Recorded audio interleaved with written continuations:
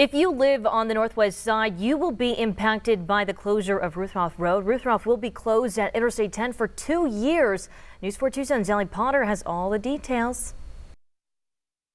We all remember the Ina Road construction project. This is the same concept.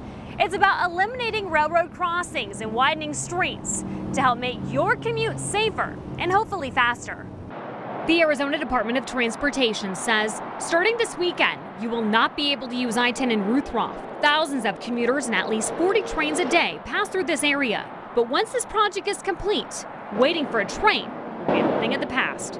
We'll be building an overpass uh, that will carry Ruthrauff over the interstate and most importantly over the railroad tracks. That's going to mean no more waiting for the train.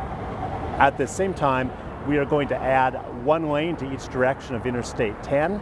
Again, the interchange at I-10 and Ruthrauff will be closed starting this weekend. Now, construction is expected to be completed in the year 2021. Ellie Potter, News 4 Tucson.